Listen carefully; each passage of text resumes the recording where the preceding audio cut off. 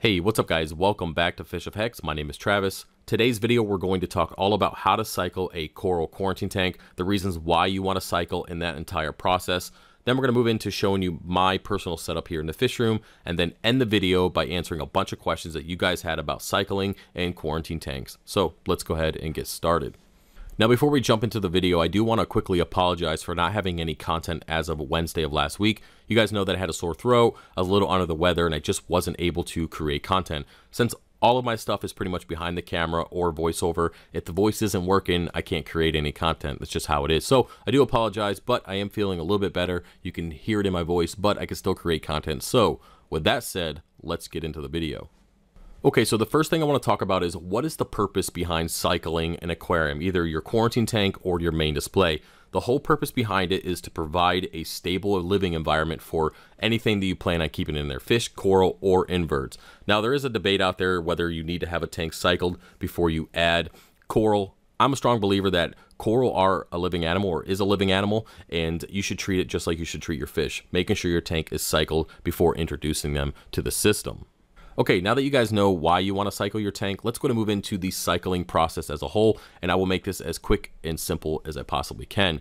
Now, the cycling process is basically just the buildup and growth of beneficial bacteria to process waste within your system. That's it. Now, this all starts with ammonia. Either you can dose this stuff manually, or you can do what I do and add food on an every other day basis, or even add a piece of shrimp in a mesh bag. I've done that and that starts the whole cycling process. Now, what happens is this food breaks down to ammonia, then a bacteria will come through, break the ammonia down to nitrites, and then another bacteria will eventually come through and break the nitrites down to nitrates. Now, we are left with nitrates, which we remove through macroalgae, biopellets, water changes, those are what we those are what we're left with. That if we have too many nitrates, we end up growing algae and stuff like that in our tank. So that's it. Just simply waiting for your tank to develop and grow the beneficial bacteria to process waste from your fish, coral, and inverts.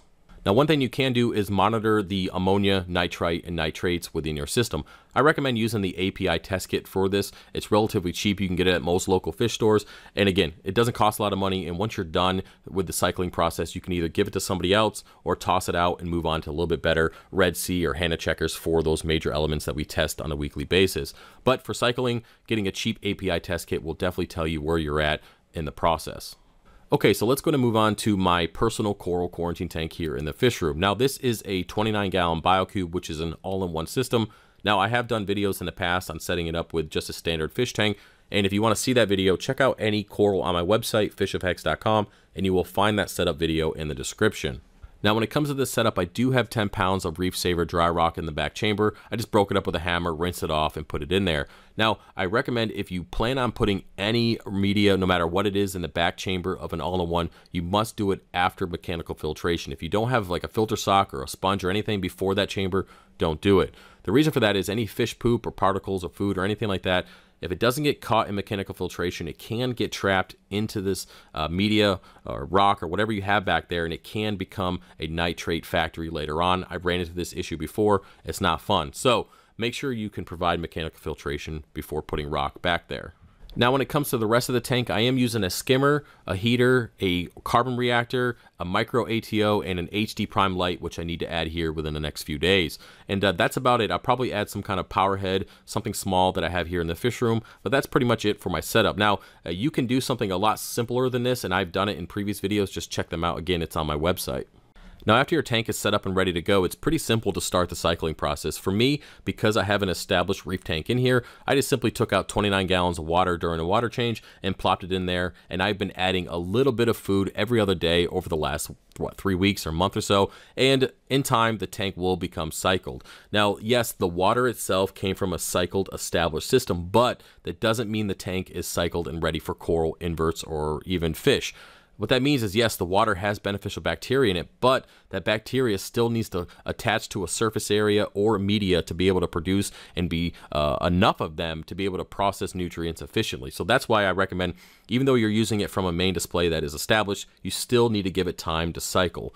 Now, for me, it's been about three weeks or so. I'm going to give it another two or three weeks since I'm not really in any rush because my first set of corals are going in there are going to be about a $1,000 worth of acros, and I need to make sure that this tank is ready to go and not have any issues and, or any chances of losing those corals during that process. Now, there are a few more ways that you can uh, jumpstart the cycling process if you don't have an established reef to pull some water from. One of them is, again, adding food every other day. You can add shrimp in a mesh bag or you can dose ammonia directly to the tank. Now, when it comes to me personally, I like adding the shrimp in a mesh bag. And the reason why we say mesh bag, and you hear this a lot, is because when the shrimp breaks down, it starts releasing chunks of body parts and all sorts of stuff over the tank. It gets nasty and hard to clean up. If you keep it in a mesh bag, it's easy just to remove uh, once it gets pretty nasty. Um, also, uh, adding food on a daily basis is my preferred method. I like doing that because it's just a consistent amount of food that feeds the ammonia or starts the ammonia and then feeds the bacteria and then continues the process. Now, uh, you don't want to add a lot of food. If you are doing flakes just a little bit every other day, nothing crazy. Um, it doesn't even have to be something that you see floating around, just a little bit on the surface and it will be enough to at least get the process started. Now, when it comes to dosing ammonia, you can dose directly into the tank. Uh, there are brands out there that give you a recommendation. Never done it. I don't feel the need for it. Uh, just something I don't want to keep here around the house because of the kids. It's just some one other thing that I don't need. And uh, so adding fish food or adding a piece of shrimp is more than plenty and easy enough for me when it comes to cycling a new tank.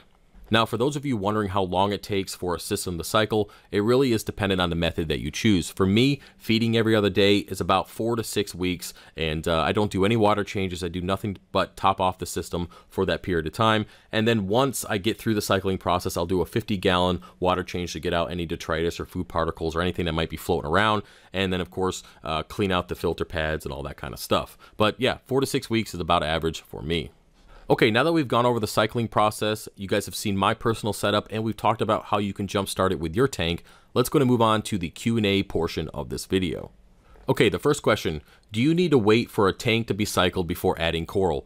And I've answered this already, and it is yes, you definitely need to wait. Now, there are some people here on YouTube that are um, saying that you don't need to wait. Uh, corals aren't as sensitive to ammonia. I've already mentioned that they are a living animal. You need to treat them like you would treat your fish. And all I have to say to those people is, how's your tank doing? Does it look good? It doesn't. So keep that to yourself. You should not be giving advice if you don't know what the hell you're talking about. Moving on. Next question Do you need to have media in your quarantine tank? And the answer is yes, you need to have some sort of media, either uh, with rock, um, man made media, or sand. Uh, any one of those will provide a surface area for beneficial bacteria to grow on and reproduce. So, yes, you need to have something in your quarantine tank. Okay, next one. Do you need to have a fish in your coral quarantine tank? And the answer is no, but I do recommend that you should. The reason for that is you want to be able to feed the tank. You want something to eat the food so it's not just sitting around the bottom of the tank. And then, of course, when the fish breathes through its gills, it produces ammonia, plus eating, poop, and pee, and all sorts of stuff. That will continue the cycling process and keep the bacteria fed. Also, on top of that, uh, having a fish like a wrasse or something will be good to help with any kind of pest that might come in on your corals. Next question, do you need to have a skimmer or a carbon reactor on your quarantine setup? And the answer is no. The only reason why I have it is so I can prolong my water changes.